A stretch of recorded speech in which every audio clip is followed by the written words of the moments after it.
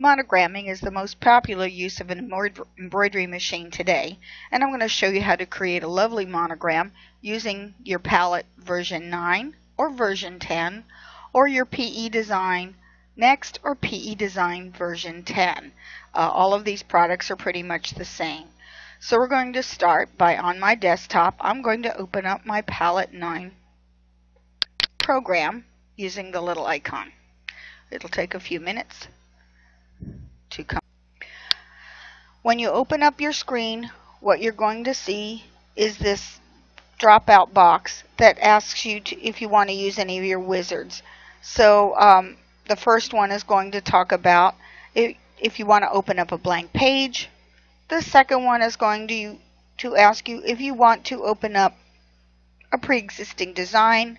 The third one is if you want to use any of your auto-digitizing wizards. And the fourth one is if you want to use your templates. And I'm just going to use a blank page.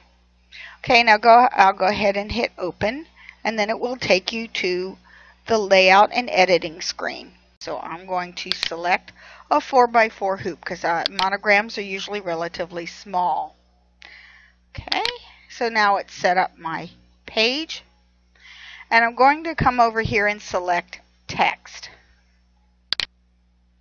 I have a choice of regular text, little tiny small lettering, or a monogram. And we're going to go ahead and do a monogram today. So I've selected the monogram. I'm going to come up here first of all and select what font I want to use. And I have a choice pretty much down here where it has the M I can use a diamond or a script. Those are built-in in uh, fonts that are already optimized for for uh, embroidery. So I'm going to use the diamond shape. Okay, I'm going to select the size. I probably want these to be maybe two inches high.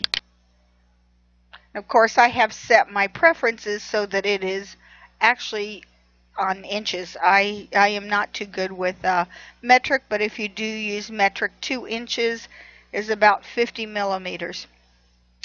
Okay, then I'm going to pick the outline fill, fill which is a line sew. So you can do a uh, monogram either one color straight satin stitch or you can actually have it outlined. Uh, and if I do have it outlined, I have a choice of a running stitch, a triple stitch, a zigzag stitch up top, a motif stitch, a stem stitch, which is new, and looks rather interesting, or a candle wicking stitch, or an EV stitch which is used for an applique. I'm not, and then I could also select the color. And if I select, and I have many colors to choose from, I can select my thread chart, and here I can select the color for the line or for the region. I can, it has many popular brands of thread and I'm just going to use the Brother 64 colors. Okay, so I'm going to go ahead now and if I have a fill stitch, I can turn the fill stitch off and have it just be an outline as if it were an applique or something like that. Or I can change the color and I can also select either a satin stitch, a fill stitch, or programmable programmed fill stitch. I'm going to put the cursor just in the middle. And notice I have a bar about two inches high. And I'm just going to, and you can come over to here. I have sewing attributes and AB text attributes. I can key in my letters on my keyboard or I can select them this way. So let's say I select a D, an E, and an F. Okay, I can do an off, I'm going to talk about off uh, off, vertical offset and kerning a little bit later. So, okay, once I have selected, I just hit my enter key. And in a moment, it will come right up. And it's showing here that, um, you see I've made it blue with, with a black outline. Now, the keys that I have here is if I have a double cross in the center, see right here when I select, when I hover the cursor over top of some of the printed letter, then it's going to show that double white, white X. That means that I can move the whole thing. At the top is a red circle, a little red dot. and I can use that to rotate my design. And if it's not quite straight and if uh, it's a little off, here's my favorite key of all, undo and redo. So I'm going to bring it back to straight up and down. I'm got here I can make it a little bigger or a little smaller and that does it proportionally. Each of the four corners will do that. If I select the center one at the top or the bottom, then it will it will leave the width the same but my height goes up and down. And the same thing on the center on both sides. I can make it thinner or thicker. Kerning over here moves the letters further apart. So see as I move it, and those letters, see they go apart. If you get things out of kilter and you're not sure what the normal is, then you click on this little house over here and it returns it back to the default. Okay, when I select a letter in the center, there's a little white diamond, and I select, say, that center letter, the diamond at the top is going to allow you to make that letter bigger proportionally or smaller. If I use the little little green double triangle at the bottom, that is your vertical offset that goes up and down. And just the fact that this, this diamond is black just means that that is the one selected. So also, if I have it selected, I can control the vertical offset by simply hitting the, uh, the key over here, the little slider bar. I'm going to return that back to normal. And there, your monogram is actually done. Now, if I'd like to add little decorative patterns on the end, I'm going to go ahead and select it. Then I can come over here to add a decorative pattern.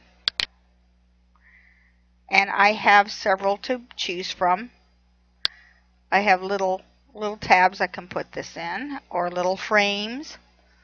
Um, let's just say I would like uh, these. Those are different. And I'll hit OK. And see, it puts them on the side proportionally. If I want to change the color of that, I click here, go to my color, and say I want to make them green, it automatically changes that. Okay, now my monogram, I have it sort of how I like it, so I'm going to go ahead and save that. So I'm going to go to Home and just double check everything. And I'm going to go up to the little little file at the top and click on that and hit a save as. Okay, I'm going to you, you come over here, save it in the folder that I've selected. I'm just going to use this tutorial folder. And I'm going to give it a name. And I will just call it DEF and you can select the version of the uh, file that you that you want to use. Uh, I have 9.0 loaded on my machine. However, if I have an, an older machine, say about 10 years old, I may want to save it to a less compl complex version. The higher the number, the more attributes that are coded into the files. Um, the old machines just simply had needle position and maybe a cut and a tie off commands and that's all that was in them so I could if I was using an older machine I'd probably save it down to version 4 or 5 um, I'll leave it at, at 9 for now. Uh, if you have a multi-needle machine it needs to be at least version 8 it will give you your better tie offs and your better stitch out. So I've selected that. I'll hit save. Now I could also save as to a jump stick. I don't have one connected here, but I could, if I go here to computer, I don't have an external drive, but if I had a removable drive, uh, which is a, a, jump stick or my machine or my computer directly connected to my machine, I could go ahead and just just save it directly to the machine or to the jump stick. But I'll cancel for now. So it's ready to stitch out. So you can see monograms is as easy as that. See you next time.